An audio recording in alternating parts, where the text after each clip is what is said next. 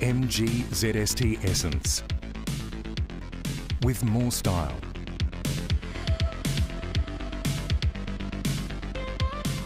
More luxury.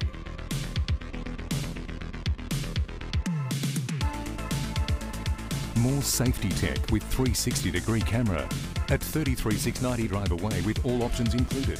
The award winning MG ZST Essence is the more you've been looking for. Online, and on your smart speaker. Townsville's national award winning builder, Kia Constructions. Hit News Briefing.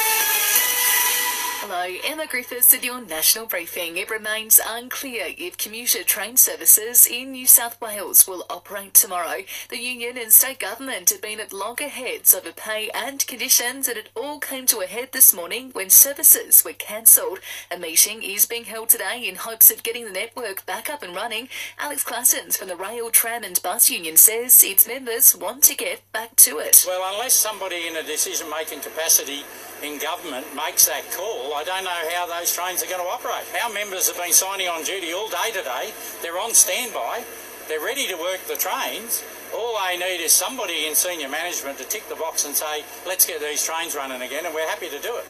The Prime Minister has joined world leaders in wishing the Queen a speedy recovery after she tested positive for COVID 19. Buckingham Palace says the 95 year old is experiencing mild cold like symptoms. Scott Morrison is confident she's in good hands. At 95, obviously getting COVID is more of a concern than um, for, for, at other age groups. And, and, we wish her a full recovery, and uh, I have no doubt that she'll be taking good care of herself and she'll be getting the best of care. And US President Joe Biden and his Russian counterpart Vladimir Putin have reportedly agreed to a proposed summit on security and stability in Europe. The French president has provided the update saying the summit can only be held on the condition Russia doesn't invade Ukraine. If you spot low-hanging power lines or damage to the electricity network, call Ergon on 13 16 70 immediately so they can make it safe. To Sport Australia is just over a week away from the start of the Pakistan tour Tour.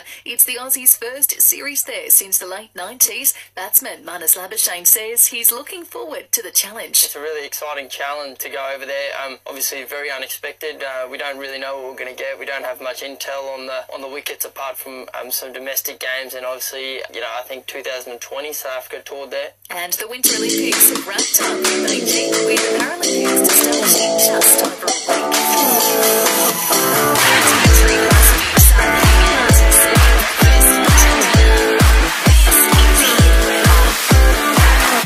Shower for Townsville the Savo, heading to a max temp of 32, dropping to 24 tonight. Same conditions tomorrow, with showers likely to stick around until Sunday. And our listener app is a new home of local news. Download the app now to listen live or on demand.